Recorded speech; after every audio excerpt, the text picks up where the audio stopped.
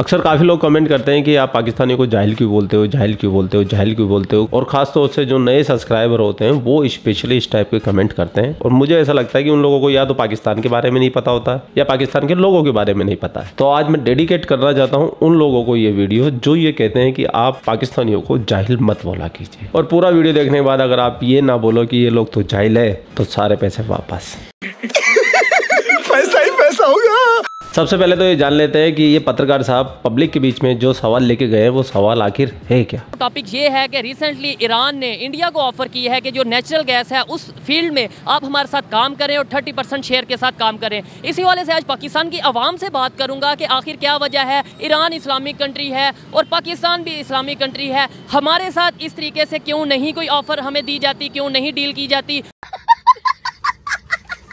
Farzad B gas field जिससे Iran ने India को एक बार को बाहर निकाल दिया था। ईरान को उम्मीद थी कि चाइना या फिर रशिया से आप इन्वेस्टमेंट आएँगी, उनकी तरफ़ से इन्वेस्टमेंट आई नहीं है। तो इसलिए ईरान ने फिर से इंडिया को ऑफ़र दिया है कि मिनिमम 30 परसेंट डेवलपमेंट का यहाँ पे आपको स्टेक मिलेगा। मिलके आप यहाँ पे हमारे साथ प्रॉफिट कमा सकते हैं। हाँ इन्होंने यहाँ पर यह बात ऐड कर दी है this option period is valid only for ninety days अब ईरान भारत को ऑफ़र कर रहा है तो पाकिस्तानियों की जले ना ये कैसे हो सकता है? तो पत्रकार साहब ने उठाया अपना कैमरा और चले गए पब्लिक के बीच में। ये जानने की कोशिश कि ईरान एक इस्लामी मुल्क है और हिंदुस्तान में मुसलमानों पे अत्याचार हो रहे हैं, उन पे जुल्म हो रहे हैं, उनको वहाँ परेशान किया जा रहा है, उनको जीने नहीं दिए जा रहा, उनको वहाँ दबाया जा रहा है तो भी ये एक मुसलमान कंट्री हिंदुस्तान को क्यों ऑफ़र कर रही है? क्यों उनके साथ काम करना चाहती है? तो पाकिस्तानी अवाम ने दिए बड़े ही शानदार आंसर जिसका इंतज़ार आपको हमेशा रहता है। तो चलते पाकिस्तान। लेट्स गो कि एक तरफ़ हम ये कहते हैं, हमारी मीडिया या हमारी गवर्नमेंट ये कहती है कि इंडिया के रिलेशन मुसलमानों के साथ ठीक नहीं है, मुस्लिम कंट्री के साथ ठीक नहीं है। तो दूसरी तरफ़ अफ़गानिस्तान, बांग्लादेश, ईरान, सऊदिया, जो भी मुस्लिम कंट्री देख लें, उनके डील्स हो रही हैं इंडिया के साथ। पाकिस्तान के साथ उस तरीके से डील क्यों नहीं हो रही? अब रिसेंटली ईरान ने इंडिया को ऑफ़र की है कि हमारी जो नेचुरल गैस है, उसके ऊपर आप आके काम करें, हमारे साथ प्रोजेक्ट में काम करें और थर्टी परसेंट आपको मिलेगा, बाकी हम लेंगे। यानी कि ऑफ़र किया प्रॉपर पाकिस्तान के साथ क्यों नहीं इस तरीके? वजह यह है कि अब जो नज़दीक बात है ना वो क्यामत आने वाली है। यही तो कयामत है। अच्छा। ये जो काम हो रहे हैं ना ये क्यामत आने वाली बात है। ऐसे काम होने नहीं चाहिए। ओए होए ये कौन सी आयत में लिखी हुई है निशानी कि इराक अगर इंडिया के साथ में डील करेगा बिज़नेस करेगा तो ये क्यामत की निशानी है। अगर ये किसी को आयत नंबर पता हो तो भैया बता देना। हद करते हैं भाई साहब ये पाकिस्तानी भी हद करते हैं। इनका कोई जवाब नहीं भैया कोई जवाब। मतलब इंडिया के साथ डील करना क्या मत ये बिल्कुल एक ये भी निशानी है अच्छा। जो हमारे हुक्मरान हैं जो पहले थे जो अब हैं। है। इन्हें समझ ही नहीं आ रही कि मुल्क को चलाना कैसे है। इनको पता ही नहीं चल रहा कि जो हिंदू हैं वो हमारे दुश्मन हैं। हमारे दोस्त नहीं है वो। हिंदू दुश्मन है हिंदू दुश्मन है। पाकिस्तानियों को बचपन में सिखा दिया जाता है कि हिंदू उनके दुश्मन है जबकि इनके देश में हिंदू नाम की कोई प्रजाति बची नहीं है। दुर्लभ हो गई है पाई नहीं जाती है दिखाई नहीं देती है कहीं पे विलुप्त हो चुकी है। 1947 में भारत से ज़मीन टुकड़ा लेके अपने वहाँ पे मुल्क बना लिया इन्होंने लेकिन फिर भी हिंदू दुश्मन है। हिंदू ने तो जमीने दी भाई तुमको। सही बात है।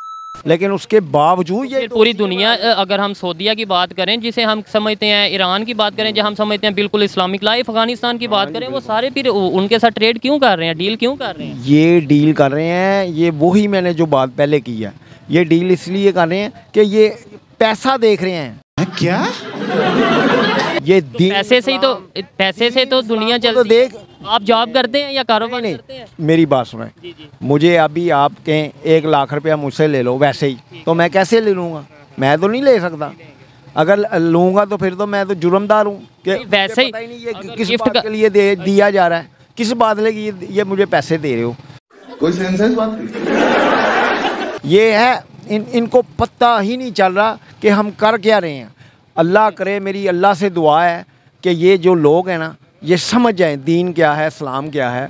ये ये समझ जाएँ और अपने जो जो हमारा सऊदी अरब मुल्क है, हमारा है, दुबई है, जो इनसे ईरान, इराक है, इनसे इनसे फ़ायदे लें, इनसे, इन, इनको फ़ायदा दें तुम भैया किसी को ना फ़ायदा दे सकते हो तुम बस दुनिया से फ़ायदा ले सकते हो इमदाद ले सकते हो भीख ले सकते हो। ये मौजूदा हुकूमत ने दो वक्त की रोटी भी छीन ली है आटे की बढ़ती कीमतों ने अवाम के मुँह से नवाला छीन दिया छीन दिया। अगर ऐसी गलियों में दूध और दही की दुकानों को भी लूटा जा रहा है लेकिन लूट मार छीना छिपटी शुरू हो गई है और आप अगर यही हालात रहे तो सुनेंगे कि करियाना की दुकान को लूट लिया बेकरी को लूट लिया।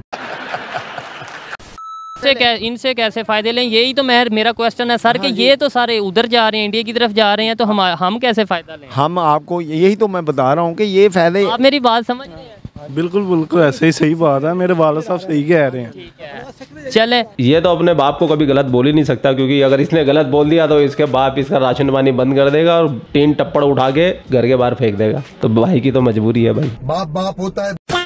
कर। आज इस टॉपिक पे वीडियो रिकॉर्ड कर रहा हूँ वो ये है कि ईरान ने इंडिया को ऑफ़र की है कि आप जो उनसे हमारे साथ गैस फ़ील्ड पे आके काम करें थर्टी परसेंट शेयर लें।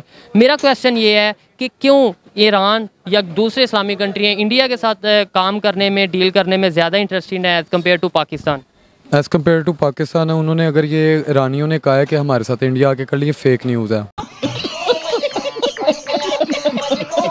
मुझे नहीं लगता कि ऐसी कोई चीज़ हो कि ईरान पाकिस्तान को छोड़ के इंडिया गैर गैर मज़हब लोगों के साथ जाके प्रेफरेंस दे ऐसा कुछ भी मामला नहीं लगता। बिल्कुल सही है मेरे भाई बिल्कुल सही है। यही तो जहालत चाहिए हमको क्योंकि पाकिस्तानी अब किसी काम के तो रह नहीं गए किसी के भी। और तुम्हारी बातें सुन सुन के जो लुप्त मिलता है उसका स्वेग ही अलग है भैया। कि मतलब किस बिहाफ पे ये कह सकते हैं कि ये फेक न्यूज़ है। ठीक है आपको नहीं मान अच्छा मुस्लिम ममालिक है। जाहिलों की तादाद हर जगह बराबर है। टोटल विजनलेस लोग। ऐसे तो सऊदीया मुस्लिम ममालिक है ना जी कंट्री है ना जी। तो वो इंडिया के साथ कर रहा है काम बहुत से प्रोजेक्ट पे कर कर रहा है। इसके अलावा बांग्लादेश मुस्लिम कंट्री है। लेकिन जहाँ तक मुझे लगता है एज अंदाजन कि अमरीकी वगैरह अगर इंडिया को दे तो वो उनके साथ समझ में भी आती है क्या कि करता है। ईरान करे Just समझ समझ नहीं आता इस चीज़। ईरान तो हमारा इस्लामी मुल्क है वो कैसे जा सकता है इंडिया के साथ? इंडिया के साथ कैसे काम कर सकता है? माफ़ करना यार बात माफ़ कर। वजह क्या है? क्योंकि ईरान ने कभी इस तरह की इंडिया के साथ की नहीं वो सब प्रायोरिटी फ़र्स्ट प्रायोरिटी अगर एज कंपैरिजन तो आप पाकिस्तान और इंडिया को देखो तो पाकिस्तान को फ़र्स्ट प्रायोरिटी मिलेगी। इस चीज़ के तो मैं हंड्रेड परसेंट गारंटी देता हूँ। देखो याद रखो हमेशा भिकारी कॉम्प्लेक्स में होता है। बहुत साइड पे हम कहते हैं इंडिया इस्लामिक कंट्री का दुश्मन है इस्लाम का दुश्मन है मुसलमानों का दुश्मन है दूसरी तरफ़ जितने भी ईरान को देख लें अफ़गानिस्तान को देख लें बांग्लादेश को देख लें सऊदीया को देख लें सारे इंडिया के साथ डील कर रहे हैं। देखें मेरी बात सुने पहली बात तो ये है कि जब इमरान खान की हुकूमत थी तो सभी जब इमरान खान उनके साथ कुछ करना चाहता था तो सभी ये कहते हैं कि ये यहूदी एजेंट है उनके साथ मिला हुआ है। इंडिया के साथ। इंडिया के साथ मिला हुआ है।